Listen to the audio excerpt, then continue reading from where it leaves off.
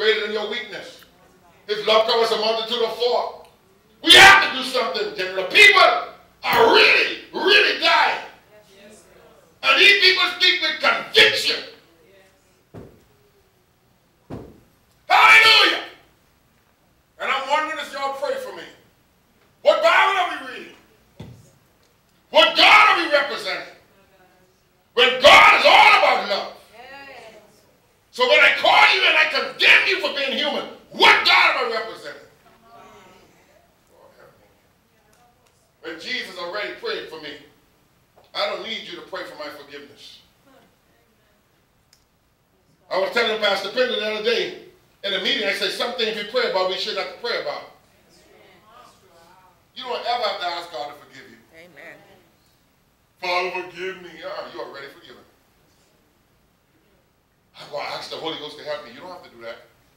Jesus already told you he was going to help you. All you got to do is receive it. The Holy Ghost, you know I'm going for the job interview. I need your help. No, no, Holy Ghost, thank you for bringing this place. I'm going for this. I know you with me. I know the words in my lips. I know I know you're shining. You know, you shining in me right now. So I'm going to get this job, baby. Me and you going together. Let's speak it some tongues. Shout out. That's another message I'm going to get to. But when you're mature in Christ, you receive what he's given and stop asking for it.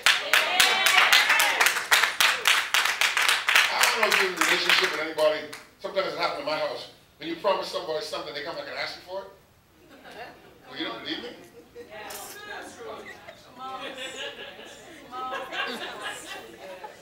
Now I'm human. I break a promise. God doesn't. I get mad. I ain't doing it no more. Somebody say amen. Amen. So here's what I'm telling you as we close. I can feel you. There's so much love in this room. Hallelujah. I'm on all the things that grab your neighbor's hand. I'm on all the things that oh glory to God. Yeah, I need some music real low. Real low, slow, soft music. Listen to me. Of all the things you've gone through, of all the things that you've encountered, of all the things you're dealing with right now, I want to receive how God sees you. Feel the hand next to you. Feel the love coming through the hand next to you. Because the personal hands you're holding, they feel in you. Amen. And if you don't understand how special you really are, I want you to hear me. You are God's chosen vessel for specific duty. And everything you go through is a part of that journey. Why? Because through you have eternal life. If you're in it, is he? He brought you to it. Because the Holy Ghost is guiding you. So if you're in something you don't understand, that don't mean he didn't bring you to it. It means there's a glory after it. When Jesus had his greatest moment, this is my beloved son whom I'm well pleased. The Spirit drives him to the wilderness. Why? Because the wilderness was necessary for his ministry. Every experience, if you can hear me say amen. Amen. Every experience is ordained. Amen. You have eternal life. Every relationship is ordained. How you handle it is up to you. But it's only going to last as long as the eternal plan of God. It can be the best relationship and still fail. It can be the worst relationship and last for 10 years. Because it's God's eternal plan. You could have changed it if you wanted to. God didn't hear what I'm saying. It's eternal life. When the Holy Spirit came into you, he started moving you.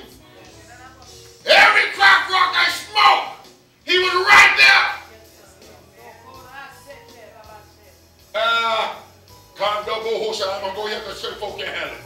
Everything I did, he was driving me to because I had to get to this place. There was a place I had to get through. And in order for me to get there, I had to have every, every moment of the experience. I had to cry every tear. I had to feel every pain. I had to be rejected by the people. I had to reject some people, but I had to go. Hallelujah. And what I'm telling what I'm telling you this morning is that God has given you the ministry of reconciliation. Don't let this week pass and you don't talk to these three people you know. that's angry at God because his servants were disconnected in the message. You gotta get that. There are people angry at God because us who, those of us who claim to be his servant, brought a message other than what he sent. And since you believe that we were representing him, you believed us. That's why it's important to go to the real person when you don't understand. Let me pray for you, let me receive our offering. I want you to just squeeze the hand next to you. Turn the music down a little bit. Righteous Father, Father, we are grateful. We are eternally grateful to you this morning, Father. We thank you for the presence of your Spirit in this ministry. Father, we come before your holy presence right now as a people who have received the gift of your Son, Jesus. Father, we accept him at the value, Father, that you released him. Even when we are void of understanding, by faith, Father, we receive the fullness of Jesus Christ. We receive the fullness of salvation. We are eternally saved, Father. We receive the fullness of eternal life.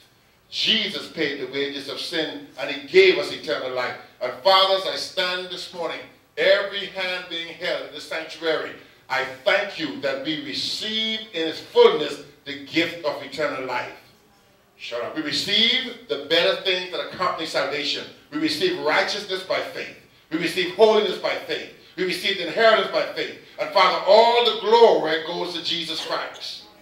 Father, I pray right now that every hand being held, that a shock of your anointing would rest in their spirit. And they may understand your love and understand their mission and understand the assignment, Father, that Jesus be glorified. It's not our holiness. It's not our power. We know that you're glorifying Jesus in our midst. I pray, Father, that peace would rest upon every home, that every hand is being held and, extended families, that the peace of Jesus Christ, as a matter of fact, Holy Father, we receive that peace right now in our home. We receive the gift of peace by the Holy Ghost. We are grateful to you, Father. We thank you for choosing us. We give you the glory and praise, and all honor goes to Jesus Christ. Father, I pray that uh, the anointing of prosperity would rest in the spirits of your children. That the anointing of obedience, Father, would rest in the spirits of your children. Father, the anointing of success, eternal success, that's already here, would rest in the spirits of your children. And for this, God, we'll give you the glory. We'll give you the honor. We'll give you the praise. Thank you for Jesus. In Jesus' name, all who receive it say amen. amen. All who receive it, clap your hands and give the Lord a clap praise. If you need an offering envelope for your offering, you know what you're going to do? Please lift your hands. Our technicians will serve you. You can also begin to prepare your seed.